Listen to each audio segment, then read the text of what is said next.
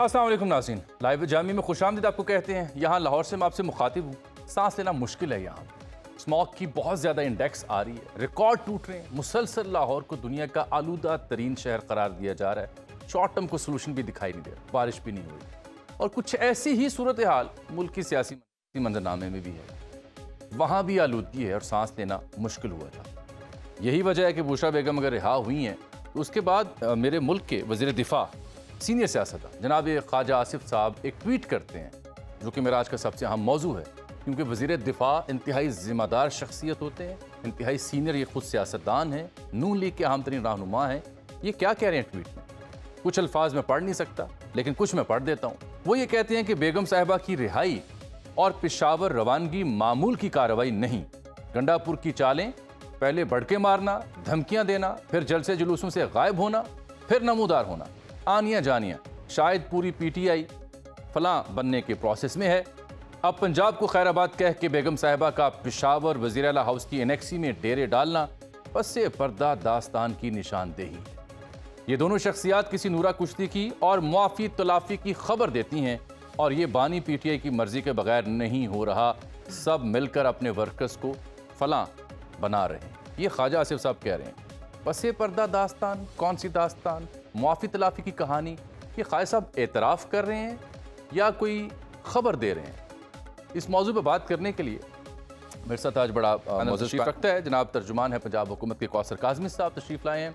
मोहतरमा शर्मिला फारूकी साहबा Pakistan peoples party की सीनियर रहनुमा है। कराची से मुझे वो ज्वाइन कर रही हैं। पाकिस्तान तहरीक इंसाफ के सीनियर रहनुमा नामवर कानूनदान जनाब नईम महदुल पंजोता साहब भी हमें ज्वाइन कर चुके हैं और ये स्मॉक के ऊपर जो टेक्निकल बात करनी है मैंने तफसीली कि लाहौर की सूरत हाल है क्या? उसके लिए मुझे ज्वाइन करेंगे प्रोग्राम के अगले हिस्से में राजा जहांगीर अनवर। आप सेक्रेटरी हैं तहफ़ माहौलियात महकमे के उनसे तफसील में बात होगी। पहले से अपना काजमी साहब ये ख्वाजा साहब किस पर, पसे पर्दा दास्तान की निशानदेही कर रहे हैं? अगर ये कोई माफ़ी तलाफ़ी है डील है तो ये तो हुकूमत का एतराफ़ शिकस्त है। हुकूमत का है फिर? देखें जी खाजा साहब ने जिस तनाजुर में बात की है आप उसको उन्हीं से जवाब लेते तो ज़्यादा बेहतर था। वज़ीर दफ़ा है बड़ी सीनियर सीट में है। लेकिन जो हालात हमें बता रहे हैं अजमल आपके सामने भाई हम तो रोज अव्वल से कह रहे थे कि जो लोग ये दावा करते हैं कि खातून का सियासत से ताल्लुक नहीं है हम तो इससे इनकारी हैं। वो तो जब पंजाब में बुजदार सेटअप था तो वो तो बर नाम वज़ीर अला पंजाब थे। असल वज़ीर अला तो जनाब मौसूफा थी। और इनकी दोस्त गोगी जो थी वो आपके सामने है। वो कहा तो ये तो एक गैंग था बुजदार पिंकी गोगी गैंग। वो तो किसी से पोशीदा नहीं है।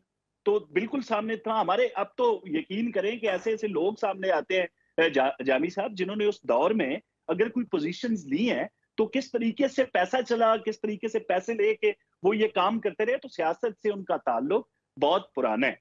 जो मैं उनको अब नाम लूँ या क्या लूँ, क्योंकि ये तो उनका एक बुत बना के बैठे हैं, तरीके इंतज़ार ने बुत बुत बनाया हुआ है, कि आपने उस खातून के हवाले से कोई बात नहीं करनी। क्योंकि माजी में जिन सियासतदान, जो खातन थी, जिनका सियासत से ताल्लुक था या नहीं था, उनसे किस किस का सलूक रवा रखा गया वो उनको नज़र नहीं आता। लेकिन इस खातून के बारे में, क्योंकि वो अबा कबा हिजाब, ये सारी चीज़ें उनके सामने हैं तो इस वजह से जी उनको आप कुछ ना कहें। जबकि सियासत में जब आप आते हैं तो आपको तनकीद बर्दाश्त करनी पड़ती है तस्दीक नहीं ये बिल्कुल किसी नहीं क्या किसी डील के तहत रिहाई इनकी अमल में लाई गई है? देखिए जी कुछ दिन पहले राना सनाउल्ला साहब ने बड़े क्लियर अल्फाज में ये कहा था जी कि अगर डील होनी है तो हमसे होनी है ना हुकूमत हम है। तो अगर हमसे हुई तो हमें पता ही नहीं है डील का। तो बड़ा वाजे मौकफ था उनका। अब आपने एक ट्वीट का हवाला दिया है जी तो डीले और ये डीले वो होती भी नहीं है माजी में तो पता नहीं किस तनाजुर में ये ट्वीट किया ख्वाजा आसिफ साहब ने मैं कोई इस बारे में अपना मौकफ दे नहीं सकता। लेकिन राना साहब ने तो एक मीडिया टॉक के अंदर जामी साहब बड़ी क्लियरली ये बात की है मैं इसलिए ये बात कर रहा हूँ पंजोता साहब पंजोता साहब मैं इसलिए बात कर रहा हूँ कि ये सिर्फ़ राना साहब की या काजमी साहब की या ख्वाजा साहब की बात नहीं। ये आप के पी के गवर्नर हैं शर्मिला बीबी की पार्टी से उनका ताल्लुक है अली अपना फैसल करीम कुंडी साहब। वो कह रहे हैं कि हो सकता है गंडापुर ने किरदार अदा किया हो। आप तो कहते थे हम ना कोई डील करेंगे, ना किसी से कोई रबता करेंगे तो फिर ये क्या हुआ कि बुशरा बेगम रिहा हो गई, डील की कहानियाँ सामने आ रही हैं वजी दिफा बात कर रहे हैं, उनकी बहनें भी रिहा हो गई, उनसे मुलाकात भी आज उनकी पहली हो गई, लेकिन यासमी राशिद और दीगर जेलों में पड़े हुए हैं।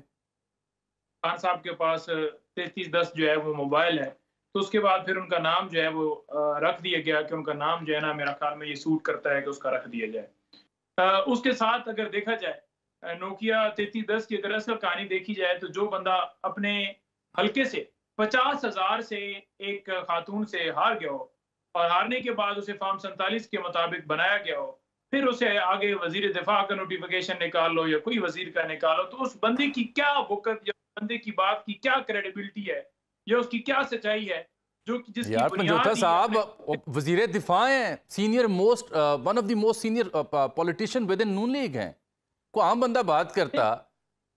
देखें नोटिफिकेशन निकालने से आपको इज़्ज़त नहीं मिलती। आज अगर आप देखें ना काजी फाइजा साहब को तो जब वो लंदन गए हैं तो वो किसी और तरफ़ से एग्जिट उन्होंने लिया है। और अगर आप देखें जस्टिस मंसूर को तो लोग उनके साथ सेल्फियाँ ले, ले रहे हैं। तो मकसद ये होता है कि आप ये ज़रूरी नहीं होता कि आप किसी जगह पर बैठें और चीफ जस्टिस के अहदे पर बैठ जाएँ तो तब आपको इज़्ज़त मिलती है। या आप चीफ जस्टिस के अहदे से रिटायर हो जाएँ तो आपको इज़्ज़त मिलती है। या आप वज़ीर दिफा का नोटिफिकेशन निकाल लें तो आपको इज़्ज़त मिलती है बल्कि आपको इज़्ज़त मिलती है आपके असूलों के ऊपर आपके मौकफ के ऊपर आपकी सच्चाई के ऊपर आपके के ऊपर आपके आपने जो अपना ज़िंदगी का रहन सहन बनाया होता है उसके ऊपर कि आप किसके साथ खड़े हैं? आप हक के साथ खड़े हैं आप सच के साथ खड़े हैं? आप जालम के साथ खड़े हैं बहरल वो नोकिया तैतीस दस आप जो कहते रहे आपका सियासी हक होगा उससे ट्वीट नहीं किया जा सकता ट्वीट उन्होंने आईफोन या एंड्रॉइड से किया होगा ना। तो उनसे पूछे तैतीस दस जो है तैतीस जब जो है आपका तो नाम जो है वो रखा गया है ਹੁਣ ਤੁਸੀਂ ਜਿਹੜਾ ਮਰਜ਼ੀ ਆ ਭਾਗੋ ਹੁਣ ਇਸ ਤੋਂ ਹਟ ਨਹੀਂ ਸਕਦੇ तो बात यह है कि ख्वाजा आसिफ की क्या वैली इमरान खान वो आयद आदमी है जो आपने देखा कि उसने आज तक ये नहीं कहा कि मेरे प्लेटलेट्स कम हो रहे हैं मैंने चेकअप करवाने के लिए लंदन नहीं, वो तो राना साहब एतराफ करते हैं जिनका हवाला काजमी साहब दे रहे हैं एतराफ करते हैं इमरान खान साहब के हवाले से मैं जरा मोहतरमा शर्मिला फारूकी को भी शामिल गुफ्तु करूँ। मैं शर्मिला साहब इसलिए आपको ये बात ख्वाजा साहब की हत्या तक या किसी सहाफ़ी की खबर हो वो तो समझ आती है उन पर दोनों पार्टीज़ का मौकफ आ गया। आपके गवर्नर है वहाँ पर वो कह रहे हैं कि हो सकता है गंडापुर ने किरदार अदा किया हो। वो भी कुछ ऐसी मुहिम गुफ्तु करें जिससे तासुर मिल रहा है। कि शायद कोई डील है जिसकी वजह से बुशरा बेगम रिहा हुई हैं। जी शुक्रिया जामी साहब देखिए हमें भी कुछ ऐसा ही लगा एज एन आउटसाइडर मैं बात कर रही हूँ कि हम्म। जो हम बाहर बैठे लोग थे हमें कुछ ऐसा लगा कि शायद जैसे ही छब्बीसवीं आइनी तरमीम पास हुई है हम्म, हम्म। उसके अगले ही दिन ये ज़मानतें होना शुरू हो गई और फिर बड़ी आसानी से और बहुत ही प्रोटोकॉल के साथ बुशरा बीबी जो हैं वो पेशावर भी पहुँच गई और वहाँ पर फिर देखा है आपने सीएम एनएक्सी में ठहरी हुई हैं। कि पेशावर हाई कोर्ट ने हम्म। जी जी चीफ मिनिस्टर ऑफ़ कोर्स उनकी पार्टी की हुकूमत है तो वहीं ठहरेंगी। और फिर पिशावर हाई कोर्ट ने आज शायद फैसला भी दिया है कि उनको किसी और केस में चौदह रोजा राहदारी जमानत दे दिया बिल्कुल आया बिल्कुल। जी जी। अच्छा अब देखिए अच्छा एक और चीज़ है इसके अलावा इसके हट के एक और चीज़ है कि पहले पीटीआई वो स्पेशल पार्लियामेंट्री कमेटी के अंदर शिरकत कर रही थी और बात भी कर रही थी डायलॉग भी कर हम्म। रही थी उनके कहने पे चंद एक शिके भी निकाली गई और उनका एक बड़ा अच्छा किरदार रहा वहाँ पर। जिसके ऊपर बिलावल भुट्टो जरदारी साहब ने पार्लियामान के अंदर भी बात की कि आपके ही कहने पे कुछ चिके निकाली गई और आपका एक किरदार लेकिन बाद में तो वो पार्लियामानी कमेटी में नहीं बैठे। और बात है। अच्छा फिर। हम्म। अच्छा ये सुन ले ना उसके बाद क्या हुआ? सेनेट से भी सारे गायब हो गए। तो एक सेफ़ पैसेज दे दिया। फिर ये नेशनल असेंबली के अंदर भी इन्होंने वॉकआउट कर दिया।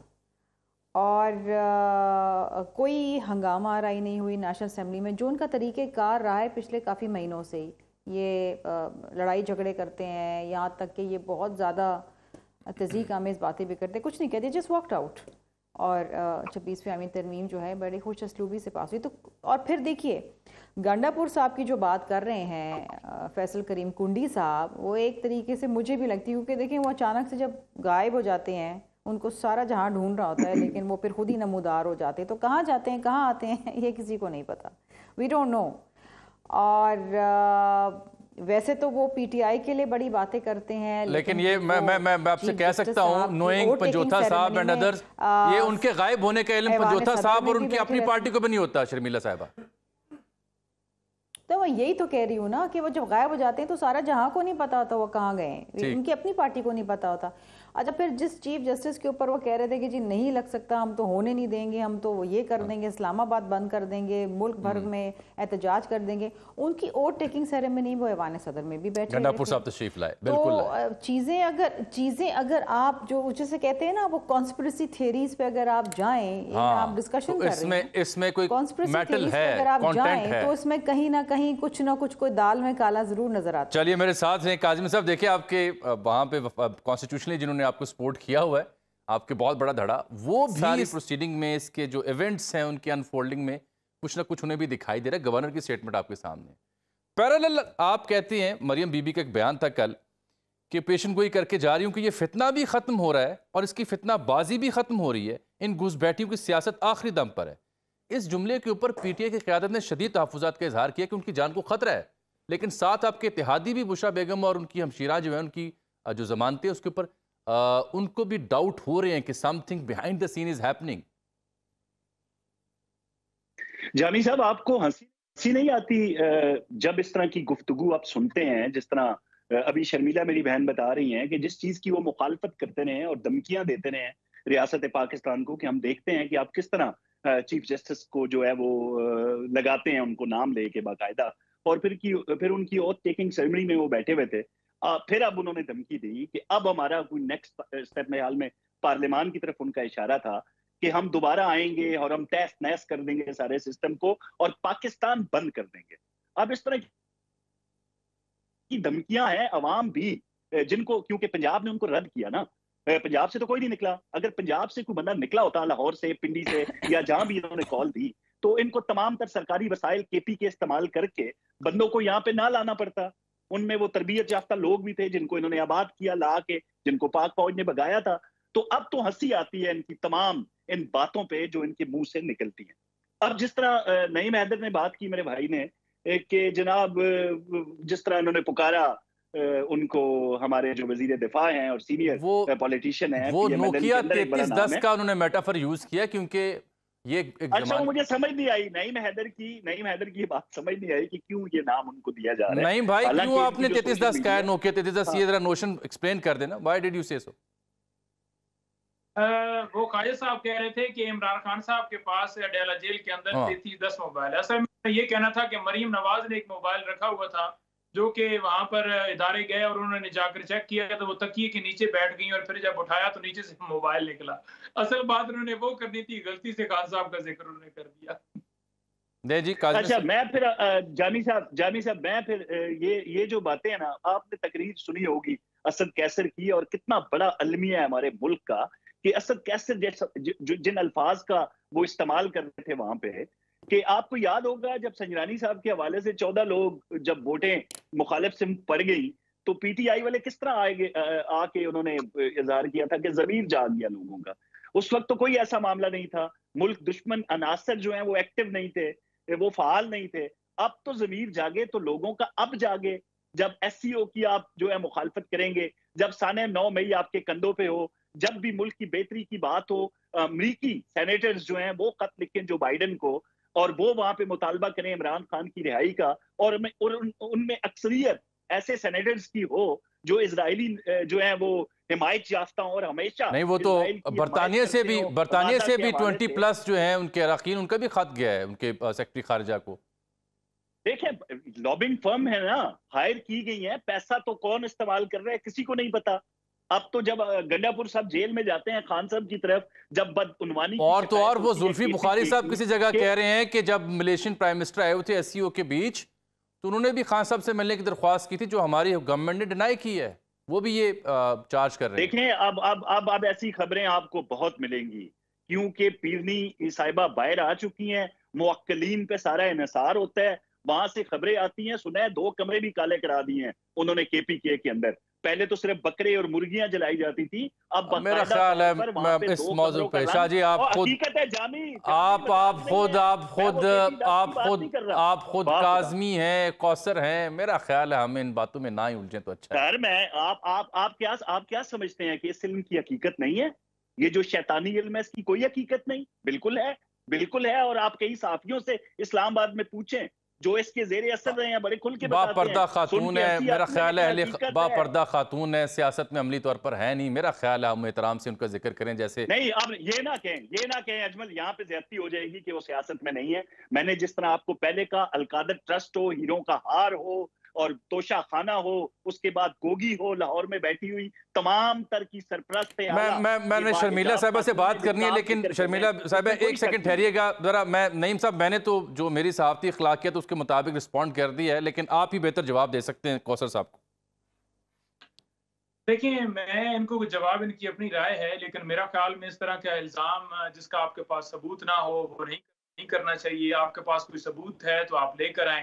और अगर ये इल्ज़ाम लगाकर आपने अपना अहदा पक्का करना है तो वो मेरा ख्याल में मुनासिब नहीं है।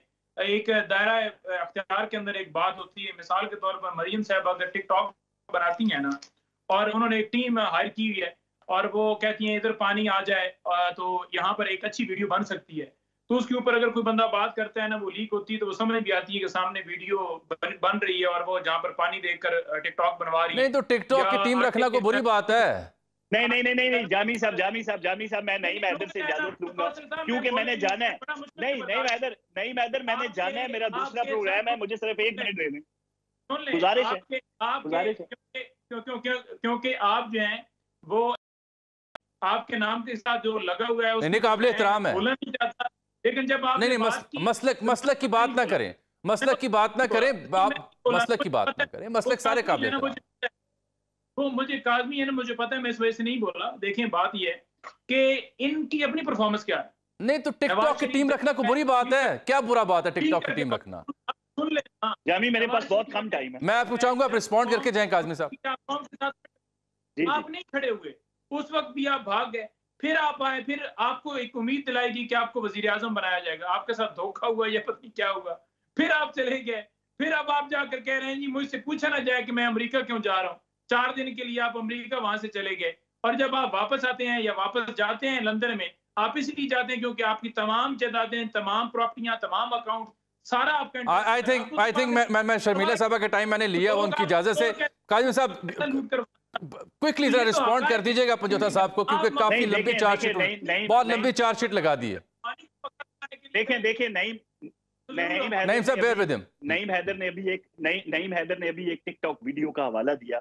जो कि साबित हुई कि उस पर डबिंग की गई थी। वॉइस हम्म। ओवर करके और वो बनाई गई बनाई गई और वो बना दी। हम्म। अब इन्होंने ये कहा भाईजान मरियम की जो फ्रांस है उसमें हुआ चेक देखें अभी अभी चलें इस पे। मेरे पास बहुत कम टाइम है मैंने एक कमिट किया हुआ है एक प्रोग्राम वरना मैं बड़ी तफसील से आपको बताता कि किस तरीके से फुटेज बन के फिर वो निकली है नहीं। मुझे भी बड़ी अब आपने आप अब अब इन्होंने कहा जी इमरान पंजोथा साहब मेरा ख्याल काजमी साहब को बात तो पूरी करने देना पंजोथा साहब hold on with me please मैं मैं गुजारिश कर रहा हूँ मैंने शर्मिला बीबी बड़ी काबिल एहतराम उनका वक्त मैं ले रहा हूँ। बड़ी ना इंसाफी लेकिन काजमी साहब क्विकली आप पूरा रिस्पॉन्ड कर दें एक दफ़ा। देखिए अब बिया साहब के हवाले से वही बातें हो रही हैं क्योंकि एक मुनजम तरीके से ना वहाँ पे गए और फिर वो अमेरिका चले गए। भाई बता के गए। हम तो उनके निकलने से पहले बता रहे थे उनका सारा शेड्यूल कि वो इतने दिनों के लिए जाएँगे फिर वहाँ से अमेरिका जाना है फिर वापस आके उन्होंने जर्मनी भी जाना है। आप अब अब अब आप नईम ने ये बात की कि यार वो उनसे धोखा हो गया। मैं अजमल आज आपके प्रोग्राम के तवसत से ये अल्फिया कहता हूँ कि मियाँ साहब ये खुले अल्फाज थे। हम साढ़े तीन चार साल उनके साथ टेबल शेयर किया है वहाँ पे। मैं हल्फिया ये बात आपको कहता हूँ कि मियाँ साहब ने हमेशा ये बात की कि इस तरह की कोलेशन गवर्नमेंट का हिस्सा मैं कभी नहीं बनूँगा। मैं हम्म। बिल्कुल वज़ीर आज़म नहीं बनूँगा। तो बार हाँ उन्होंने इस बात का इस क्योंकि सोशल मीडिया है ना इनके पास और वो फॉरेन फंडेड कितने से चलता है इसमें कोई शक नहीं है। काजमी साहब आप भी लॉबिंग कर ले रोना का एक है। आप भी लॉबिंग कर ले आपको किसने रोका लॉबिंग की बात नहीं है। भाईजान हाँ। उसमें पाकिस्तान मुखालिफ होना पड़ता है अजमल जामी। उसमें पाकिस्तान के खिलाफ ये बातें करना पड़ती है कि हमने बंद करना है भजन हमने बंद करना है ये सारी चीज़ें। हमने पाकिस्तान बंद करना अच्छा मैं मैं मैं मैं मैं मैं काजमी साहब काजमी साहब आप आप आप तशरीफ़ लाए आपका बहुत शुक्रिया।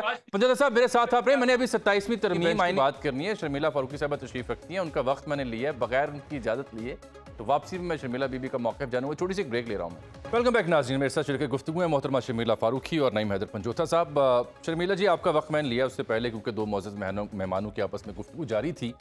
ये देखें ना, मैं मरियम बीबी का ज़िक्र कर रहा था, वो उनकी जो कल की स्पीच है जिसके ऊपर पीटीआई सीखपा हुई है, उसका मतन ये है कि ये फितना भी ख़त्म हो रहा है और इस तरह की फितनाबाजी भी ख़त्म हो रही है इन घुस बैठियों की सियासत आखिरी दम पर। इसे वो एक थ्रेट ले रहे हैं, इमरान खान की जान के ऊपर। कब तक हम एक दूसरे का सियासी वजूद तस्लीम नहीं करेंगे, एक दूसरे को फितना कहते रहेंगे? इस तरह तो कभी भी पॉलिटिकल स्टेबिलिटी पाकिस्तान में नहीं आ सकती। जामी साहब देखिए जिस किस्म की सियासत पीटीआई की रही है और है, और फिर जिस वजह से अली अमीन गांडापुर को एलिवेट करके चीफ मिनिस्टर के पी के बनाया है, उसके पीछे जो वजूहत है वो तो आपको मालूम है। पीटीआई में जिसकी जितनी गंदी जबान होगी उसको उतना अच्छा अहदा दिया जाएगा।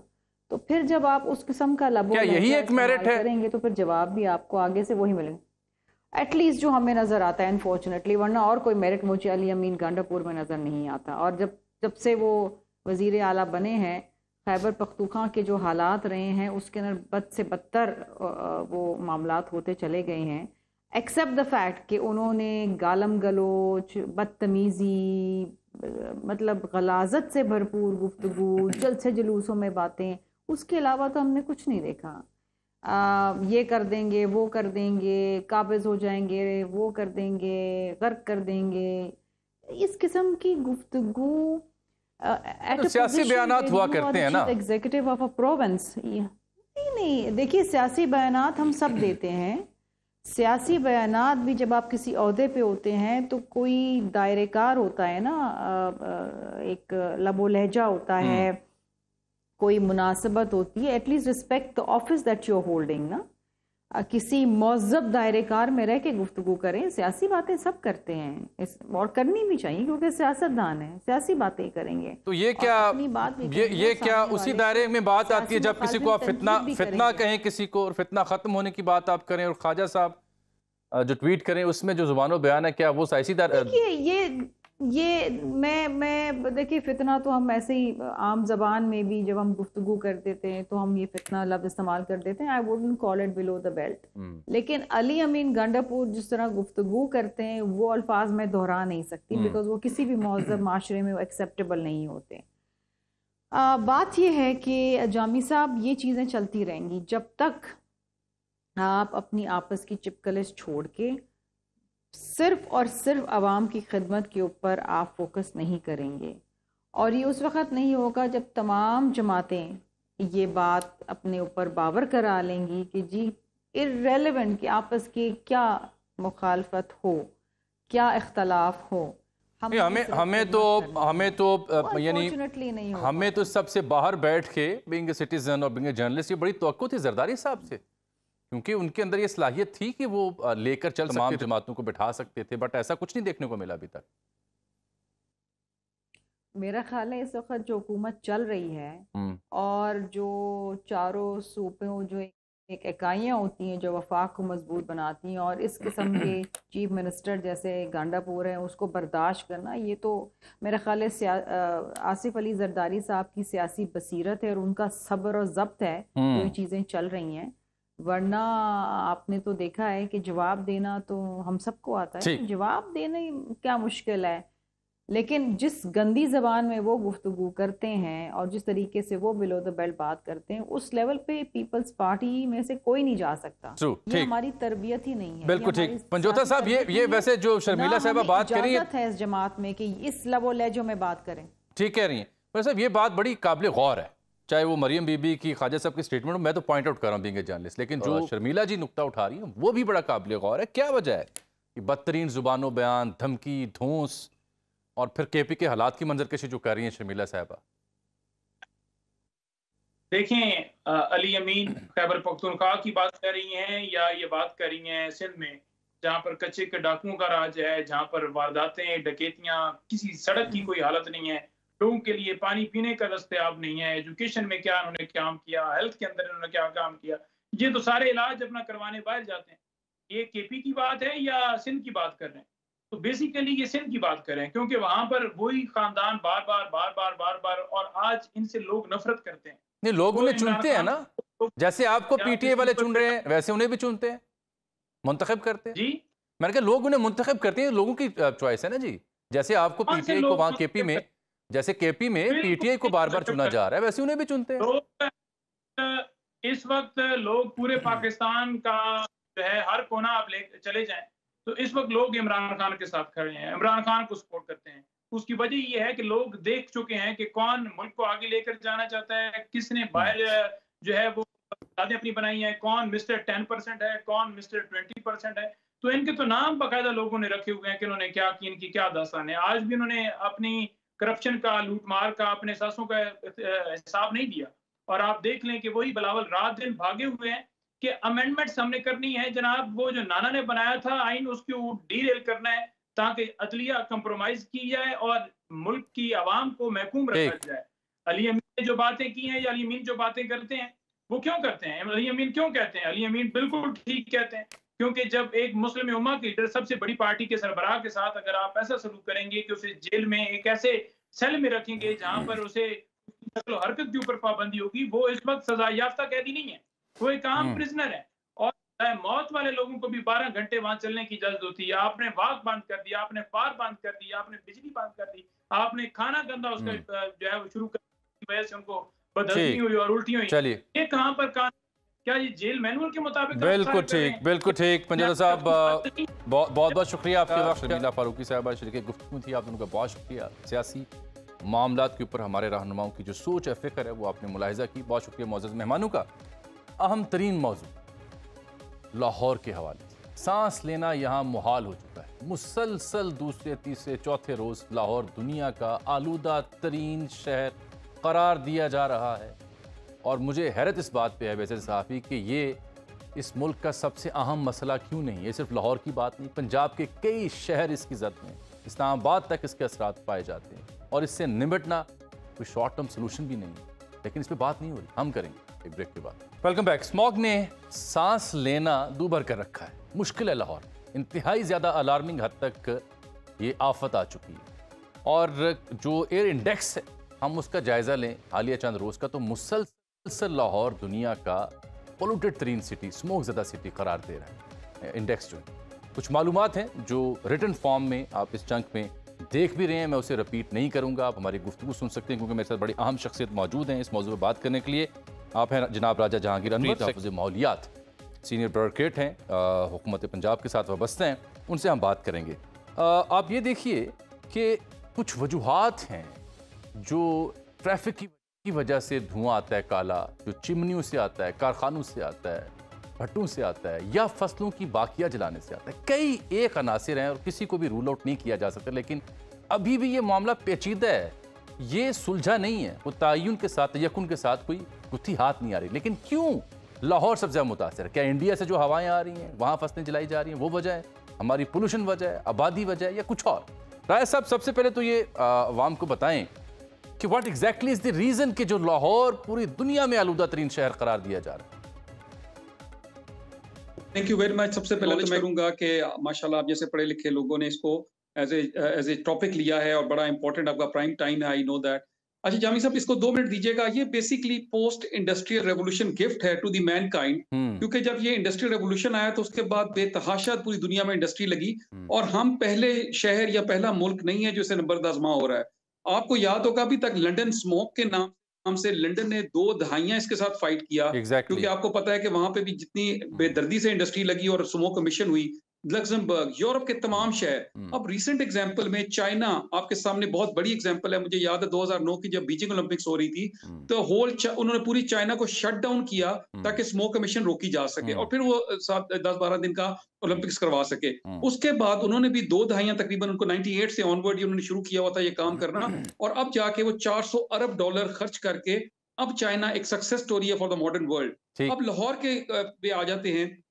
आपने बिल्कुल दुरुस्त कहा मल्टीपल फैक्टर्स हैं it's a man made disaster हम अनफॉर्चुनेटली ये अपने करते हैं क्योंकि जब आपके शहर में 45 लाख मोटरसाइकिल चल रहा होगा सब धुआँ दे रहा होगा तेरह लाख गाड़ियाँ चल रही होंगी सब धुआँ दे रही होंगी आपके 1800 बाइक्स हर रोज एक्साइज डिपार्टमेंट के रिकॉर्ड के मुताबिक एड ऑन हो रहे होंगे लाहौर के गिरदो नमा में 1200 भट्टे चल रहे होंगे और उनकी चिमनी से काला धुआँ निकल रहा होगा understandably Lahore is the fastest growing city क्योंकि hmm. यहाँ पे बहुत तेज़ी से तरक्की हो रही है plaza commercial markets housing societies बहुत कुछ काम हो रहा है लिहाजा यहाँ कंस्ट्रक्शन की ज़रूरत है भट्टों की ज़रूरत है आई अंडरस्टैंड दैट इसी के साथ आप देखें 6.6 मिलियन एकड़ पे पंजाब में इस साल चावल की काश्त हुई और इस वक्त हार्वेस्टिंग जारी है और उसकी जो बाकियात हैं वो हमारा किसान उसको जल्दी जला देता है ताकि उसके बाद उसे वीट सो करनी होती है हम्म। और एक 6800 इंडस्ट्री लाहौर शहर की हदूद के अंदर काम कर रही है और ये सारी चीज़ें जो है ये मिल के धुआँ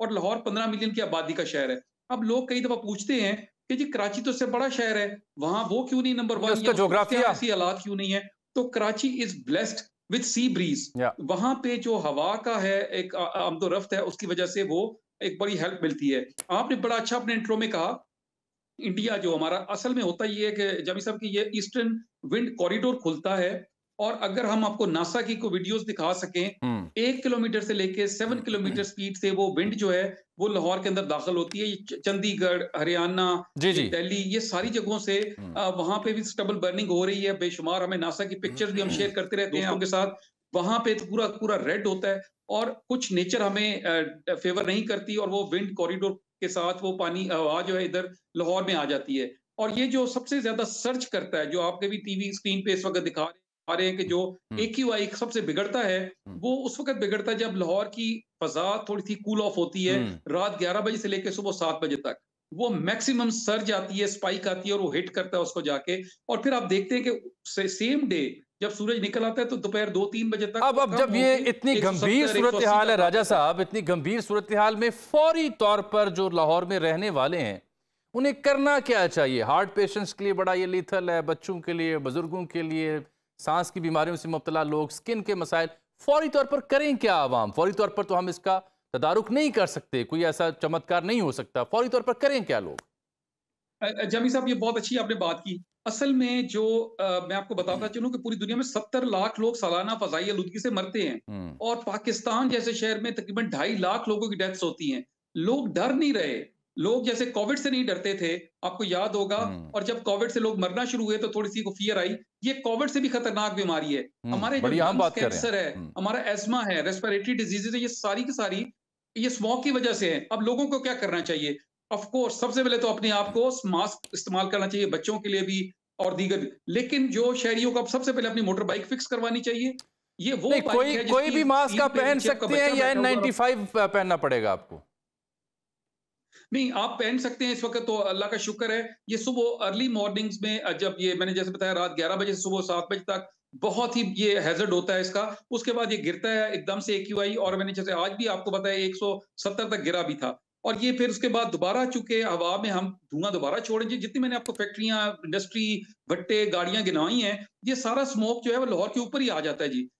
शहरियों को सबसे पहले अपनी बाइक गाड़ी ट्रैक्टर ट्रक बस जो भी वो चला रहे हैं उसको बहुत मुख्तर मेरा वक्त कम है मैं चाहूँगा अगले प्रोग्राम में इस पर और तफसीली निश्चित आपके साथ और दीगर एक्सपर्ट्स के साथ और मुख्तर ये बताएँ मौसमी बारिश में इसका एक हल होता है लेकिन लास्ट ईयर वो एक्सपेरिमेंट को ज़्यादा वर्कआउट नहीं किया।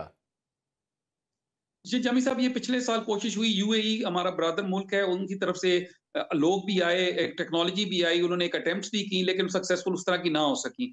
इस दफ़ा अल्हम्दुलिल्लाह, हमारा जो एसपीडी है आर्मी एविएशन है civil aviation SUPARCO Met department एक इंडिजिनस पूरी की पूरी टेक्नोलॉजी और पूरी का पूरा मैकेनिज्म डेवलप हो गया हुआ है। और ये सिर्फ़ हम डिपेंडेंट हैं वेदर की एक कंड्यूसिव इन्वायरमेंट चाहिए होता है। अगर मैं आपको ये आसान लफ्जों में समझा सकूँ कि अगर आसमान को आठ हिस्सों में तकसीम करें तो पाँच हिस्सों में बादल होंगे तो हम उसको हम्म। क्लाउड सीडिंग करके उसको बरसा सकते हैं।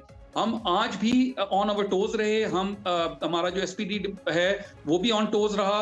हम वॉचफुल हैं अगले चंद दिनों में जो ही मौसम इस काबल होता है कि वहाँ क्लाउड सीडिंग हो सके तो आपको आर्टिफिशियल रेन मिलेगी बहुत बहुत शुक्रिया राजा जहांगीर आपने इस मामले में तफसीली बात की काम की बात की शहरियों को बिलखसूस ये खबर हो कि आपकी अपनी सेहत आपकी अपनी ज़िंदगी आपके हाथ में है। ये मोतबर तरीन शख्स ज़िम्मेदार तरीन शख्स हमें ये बता रहे थे कि कोविड को आपने सीरियस लिया तो अपना ख्याल रखा। ये बता रहे हैं कि ये कोविड से भी ज़्यादा संजीदा मसला है। मास्क पहने सुबह और शाम के वक्त बाहर निकलने से एहतियात करें। लॉन्ग टर्म प्लानिंग तो होती रहेगी। गवर्नमेंट के ऊपर भी तनकीद हम करेंगे कि इनके मैयर्स ऐसे क्यों नहीं हैं कि अभी तक इससे जान क्यों नहीं छुड़ाई जा सकी। लाहौर की जो बेहंगम आबादी बढ़ रही है और जो डेवलपमेंट हो रही है, उसका भी किरदार। इजाज़ दीजिए मुझे। हाफ़िज़।